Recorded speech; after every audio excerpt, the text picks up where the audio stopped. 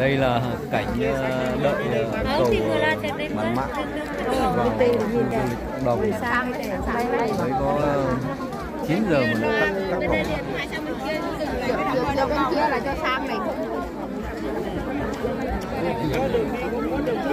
đó đó Tắt cầu rồi. người ta phải bước chân dần đi mấy chị đi bước chân dần đi. Đây là họ bước chân mình phải bước đó phân luồng không cho sang nên sợ là tắc ờ, sập cầu.